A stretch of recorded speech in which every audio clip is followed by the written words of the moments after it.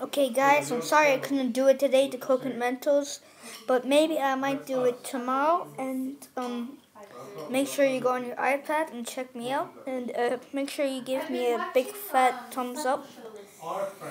And um, yeah, I'll see you guys later.